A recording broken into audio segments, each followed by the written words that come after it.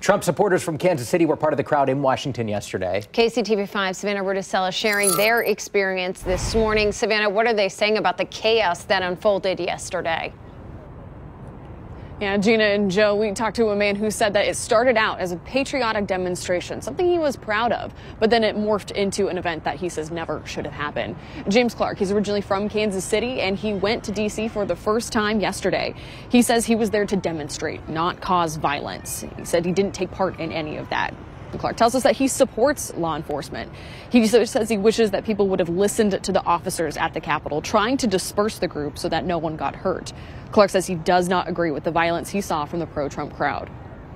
They were wrong. They anybody that's trying to bring harm upon somebody or vandalize their it was wrong when Black Lives Matter was doing it, and you know it's wrong now.